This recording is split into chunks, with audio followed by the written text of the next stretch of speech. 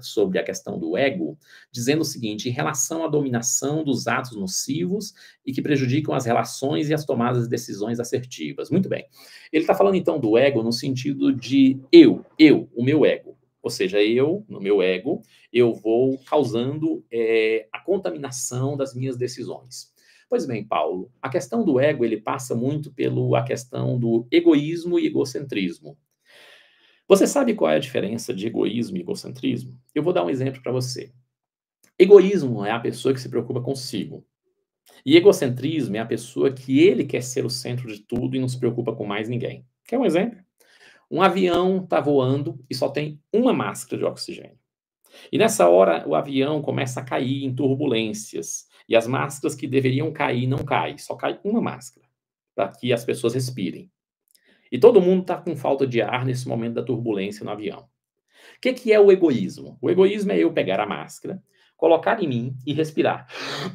E depois sair servindo outras pessoas que vão respirar também para que eu salve um monte de pessoas e o máximo que eu puder, enquanto faltar o ar em mim, e aí de novo eu respiro e saiu salvando mais pessoas. Foi o egoísmo, pensar primeiro em si, cuidar de si, que trouxe a humanidade até aqui.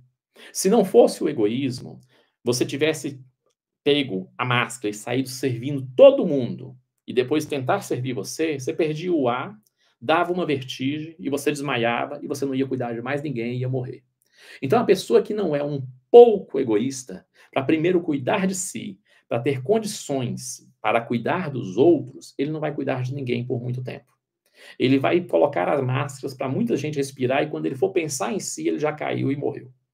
Então é preciso ter um pouco de egoísmo. Diferente do egocentrismo. O egoísmo é respiro e saio pondo a máscara nas pessoas e ajudando o máximo de pessoas que posso. Respiro e vou pôr a máscara nas pessoas e ajudando o máximo de pessoas que posso. E o egocentrismo é diferente. Respire, ninguém mexa com essa máscara, ninguém vem aqui, eu, ninguém, vai, ninguém vai usar essa máscara, vai morrer todo mundo e vai sobrar só eu, porque eu sou o egocêntrico, eu sou o centro de tudo. Esse não, esse é um problema. O egoísmo é necessário para você sobreviver, cuidar de você e cuidar dos outros. Agora, o egocentrismo extinguiria a humanidade toda ia sobrar você como centro de tudo, depois você morreria porque não teria ninguém para cuidar de você.